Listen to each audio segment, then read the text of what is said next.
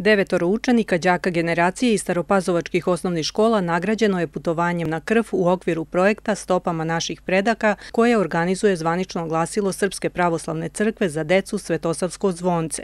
Đorđe Radinović, predsednik opštine Stara Pazova, istakao je značaj ovakvog putovanja koje je rezultat višegodišnje saradnje opštine Stara Pazova i Patrijaršije Srpske pravoslavne crkve u domenu podrške i sprovođenja verske nastave u školama na teritoriji opštine.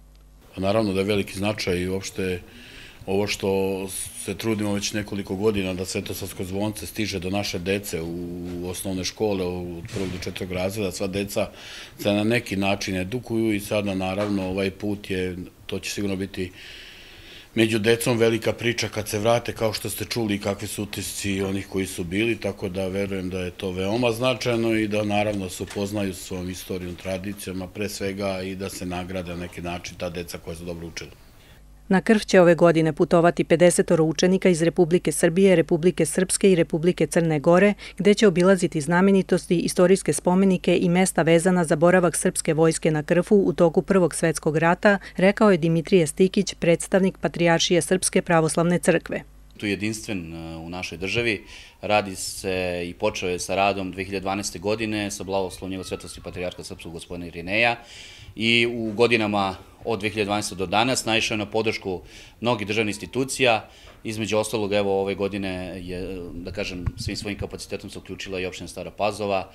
Prisutima se obratio i Lazar Đukić, zamenik predsednika aktiva direktora. Ovo je prilika da se i učenicima pokaže da se trudi rad isplati i naročito da, uh, ono što sam rekao, da je vrlo važno da deca u ovom dobu vide gde im je prošlost da bi znala kako da se orijentižu prema budućnosti. Imali smo prilike da čujemo kako je bilo na prošlogodišnjem putovanju od učenice Marije Kuzmanović i nastavnice Vladane Bzovski. E, iako sam bila prošle godine, utisci su i dalje veoma jaki, jer stvarno sam se divno provela, naučila sam dosta i savjetovala bih svoj deci da se trude da bi mogli da odu na ovako putovanje i da osete ono što sam ja osetila. Moji utisci su vezani za e, sam taj projekat jer je to ima poseban poseban karakter, odnosno višestoki karakter i edukativni, i taj duhovni karakter i praktični deo. Putovanje traje od 17. do 29. avgusta.